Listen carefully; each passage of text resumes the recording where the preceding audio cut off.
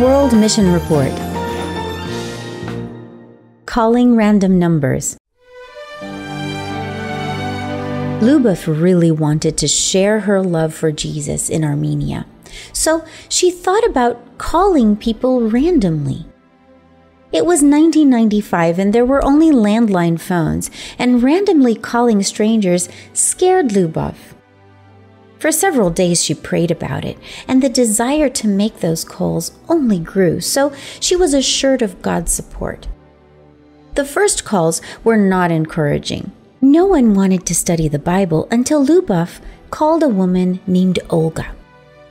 The two became friends, studied the Bible, and during a conversation, Olga asked for prayer for her mother in law who was seriously ill. Lubov advised her new friend to visit her mother in law and somehow talk to her about salvation in Jesus Christ.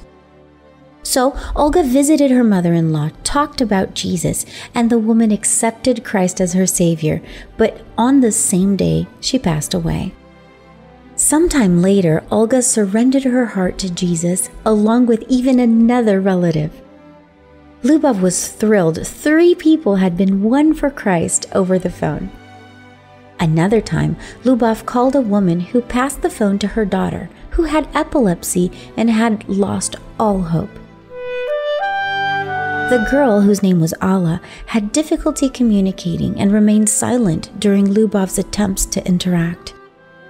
Lubov didn't give up. She prayed and she called again, but Alla remained silent due to her health conditions until one day Lubov began describing the new earth to the girl, and she began to laugh and express joy.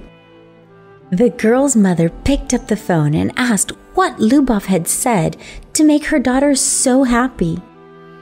Well, soon more people were participating in the Bible study phone calls to learn more about the new earth. After some time, the silent girl surrendered her heart to Jesus, and today she's a happy Seventh day Adventist. Lubov thanks God for the opportunity to witness about the gospel through the phone. Part of this quarter's offering will help open an influence center in Armenia. Let's be generous.